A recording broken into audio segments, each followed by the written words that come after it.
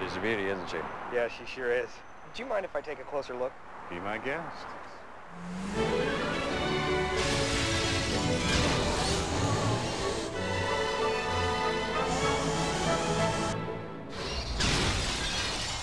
You got anything in a two-door?